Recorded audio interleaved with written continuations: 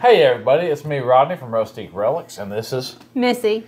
and today we're going to be doing something a little different. Usually we do uh, Let's Paint Thursdays, but today we're doing a product test.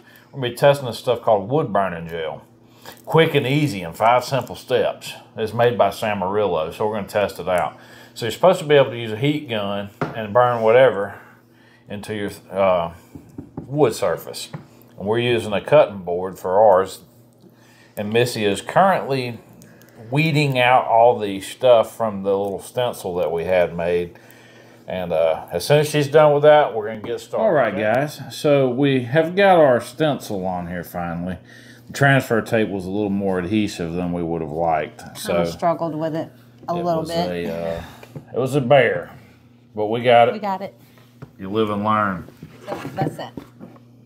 It just says Rustique Relics Home Decor and General Store. So we're using this on our display. We have like Amish uh, canned jellies and syrups and stuff like that. And I kind of am just trying to decorate that area up.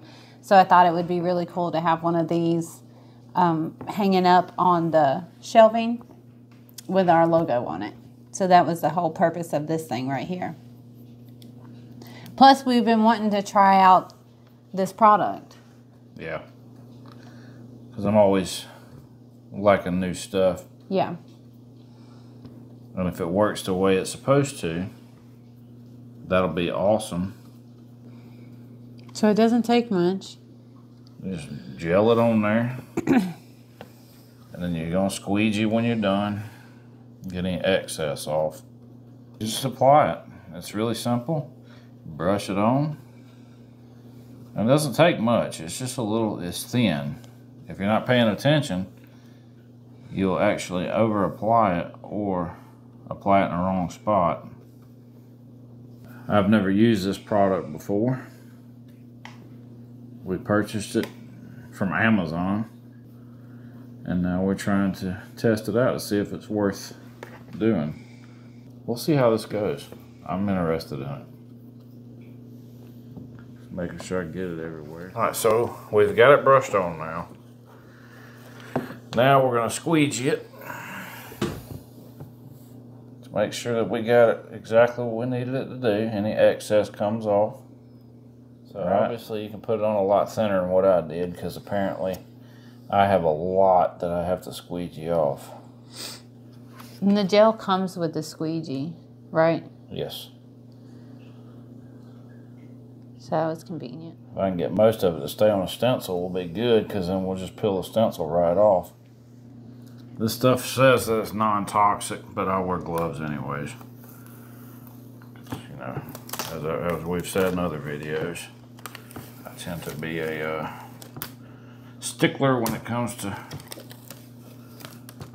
keeping my hands clean.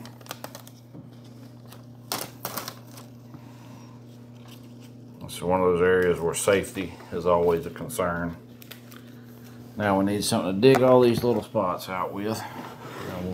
That's going to be Missy that does it.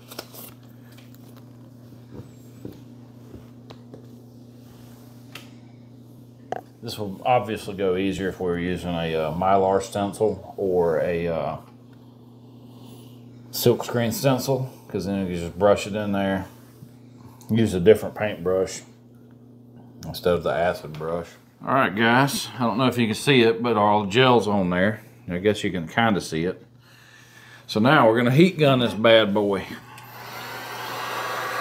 High heat.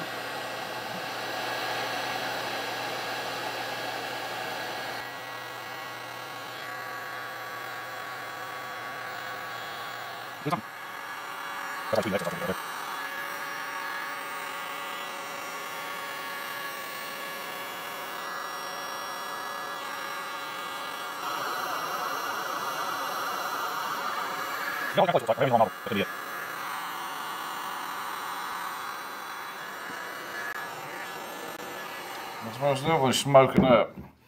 So there we go, guys. Wood burning gel. If I'd have did a better job of brushing it on there, we wouldn't have had this mess right here at the bottom. See that? That's my fault. Just a little build up there. And then a couple areas like that right there. So it worked pretty good.